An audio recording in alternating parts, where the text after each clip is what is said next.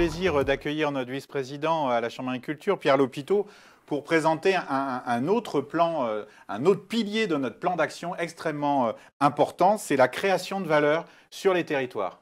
Pierre. Merci Eric, bonjour à tous. Avec l'équipe de la Chambre d'agriculture, nous sommes des facilitateurs pour aider à la mise en place de diversification, d'outils de transformation, de projets locaux qui apportent de la valeur ajoutée à nos agriculteurs. En préservant les enjeux de territoire, l'aménagement des espaces, la qualité de l'eau, la transition énergétique et surtout la valorisation de nos filières.